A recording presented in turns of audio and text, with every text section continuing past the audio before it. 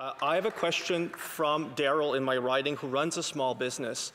And when he looked at the CEWS program, he noticed that the information provided on the website would make it more difficult and more complex in order for him to hire new people. Let me explain. It requires a company to have reporting periods. If he hires a person on the 15th day, then he doesn't get any of the monies from the first to the 14th day. That's usually not a problem. We don't want to pay a business when it's not hiring people. But it also means that if he hires someone after the middle of the reporting period, he also misses out on two weeks to support those wages. So my question is to the finance minister, will the changes in C20 address this issue? Good question. The Honourable Minister. Mr. Speaker, Madam Speaker, I want to thank the member for his question. I think we all share the goal of providing support for businesses so that they can employ more people as we move out of this crisis carefully and safely. The program, the way we've designed it, is allowing for an expansion of the number of businesses that can use the wage subsidy to get employees back to work and, an, uh, and a lengthening of the time they can have it so they can actually have more confidence.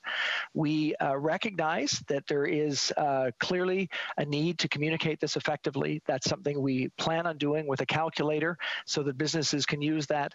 And of course, we're going to continue to try to support businesses as they hire back employees in the future. And that's uh, certainly our, our ongoing goal together.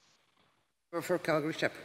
Daryl would say you don't need a calculator. You need basically a degree in quantum computing to understand what's inside Bill C20 and how it changes the CEWS program. What I want to know in his specific situation, which is, by the way, Madam Speaker, on the website, it's uh, number 22, the example 22 that's given if you hire someone, and this could be perhaps you've done temporary layoffs, you've furloughed employees, you have employees on shifts, if they don't work for two weeks, their, their entire wage for the month for the 30 day reporting period is not eligible if you bring them back, which is a real pain for businesses which are trying to keep their operations going. So, again, to the finance minister, do the changes in C20 address this particular business issue?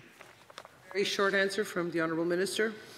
Madam Speaker, again, uh, we we know from the work we've done that this will significantly expand the number of employers able to use the wage subsidy and significantly expand the number of employees that will be able to get back to work.